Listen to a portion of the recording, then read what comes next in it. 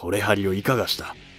いつものお主ではないぞ。ななんだお主ら戦いたくない。まったく仕方のない男じゃ。長年の恨みを晴らすことができたわ。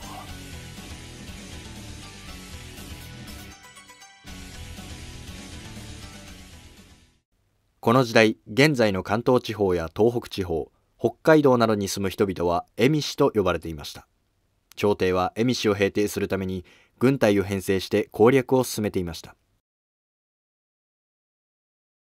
これ張りのあざまろよ。こたびの戦誠に大利であった。ありがたきお言葉。お力になれて大変嬉しく思います。これ張りのあざまろは陸奥の国で活躍した蝦夷氏の族長で陸奥国上地郡の大領という地位についていました。朝廷から官位を授けられていたことから信頼度は高かったと言えます。ちなみに大領とは各軍を治める軍事の最高の地位のことを指します。されど広住様であれば私の助力などなくても鎮圧できたはずです。逆にご迷惑だったのではないかと肝を冷やしておりました。お主は口がうまいの。思ったことを素直にお伝えしたまでにございます。では私はこれにて。これからもよろしく頼むぞお任せください身の程をわきまえよこれはりお前の助けなどなくても広住様は鎮圧をしていたはずだわきまえているつもりでおりますよ私はイフの出ですから。よくわかってるじゃないか。褒めて使わす。癒しきイフの男よ。お褒めの言葉、ありがたく頂戴いたします。我々の邪魔だけはするなよ。肝に銘じます。大立め。同じ絵見だというのに偉そうに。今に見ておれ。イフとは奈良時代から平安時代にかけて行われた蝦夷征伐の後に朝廷の支配に属するようになった者たちのことを言います。公認天皇様、格別城の造営を担当している木野広住らがこれ張城に向かったとの報告が入りました。そうか。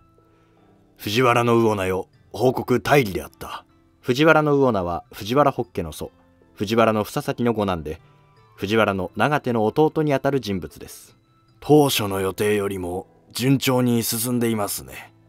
私が生きているうちに恵美氏平定がなるかもしれないな。そうですね。広住様お足元お気をつけください。ありがとう。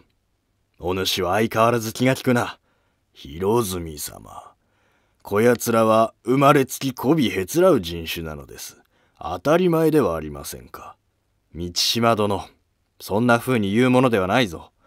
イフの者たちの協力があるからこそ、恵美氏平定を視野に入れることができるのだ。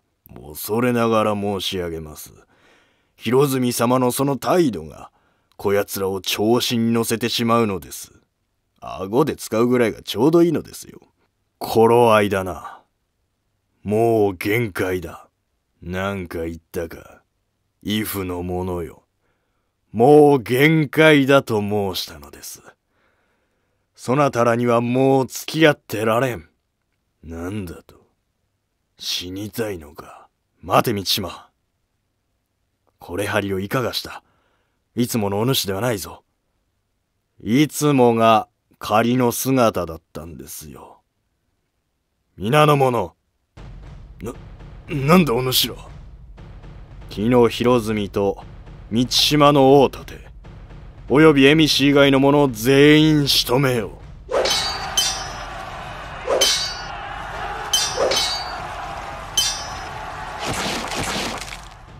う長年の恨みを晴らすことができたわ。申し上げます。これ張り城でこれ張りのあざまろが謀反を起こしました。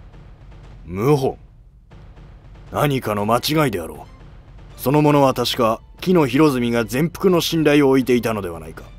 私もそう聞いておりましたが確かな情報筋です。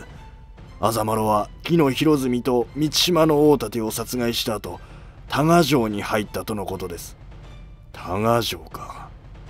確かにあそこには武器や兵糧がたくさんある。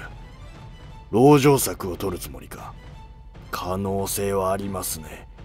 先に多賀城に入っていた大友の松名の安否も心配です。申し上げます。これ張城と多賀城から火の手が上がっているとの報告が入りました。何だと。籠城はしないということか。これは明らかな宣戦布告です。すぐに討伐軍を編成しましょう。分かった。して誰が適任だ。藤原の継忠殿がよろしいかと。そうか。では藤原の継忠を正統大将軍に任命する。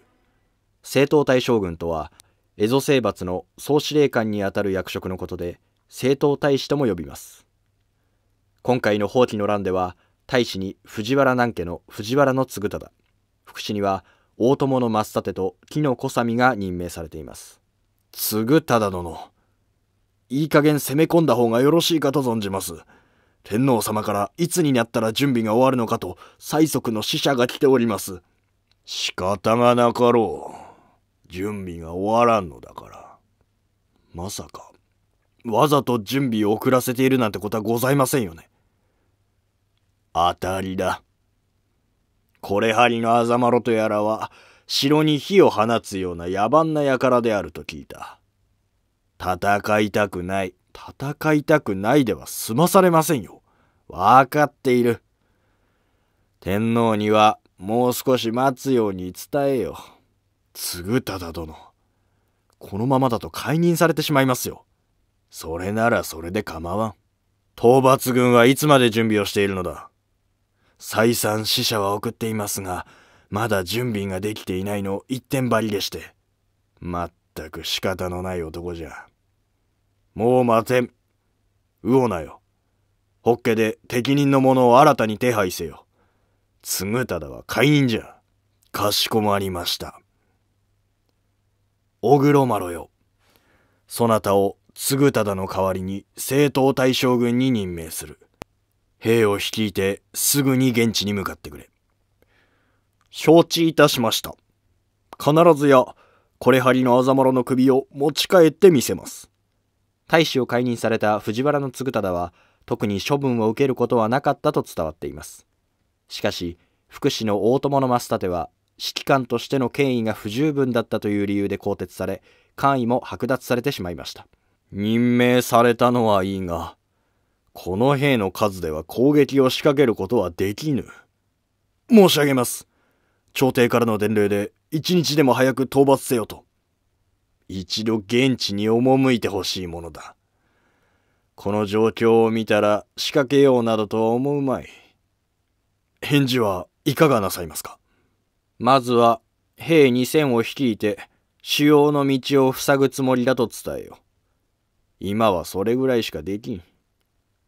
かしこまりました。とんでもない仕事を引き受けてしまったな。結局、小黒丸はアザマロを捕らえることができませんでした。アザマロがその後どうなったかについての記録はないため、詳細は不明となっています。間違いなく言えることは、この乱によって朝廷と恵美氏による全面対決の火蓋が切られたということです。さて次回の百花繚乱歴史伝は、第50代目の天皇、桓武天皇にスポットを当てたいと思います。それではまた次回の動画でお会いしましょう。